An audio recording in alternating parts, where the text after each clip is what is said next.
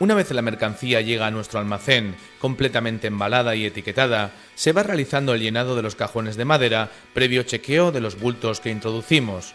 Una vez lleno el cajón, se cierra, se etiqueta con el número de lote, la etiqueta identificativa del cliente y se etiqueta en el pasillo correspondiente del almacén. A continuación, registramos el número de lote informáticamente en nuestro sistema para definir la ubicación y el día de llegada a almacén. Cuando el cliente nos solicita que entreguemos la mudanza, será de baja en el sistema y procedemos a la carga directa del cajón en el camión para su posterior entrega.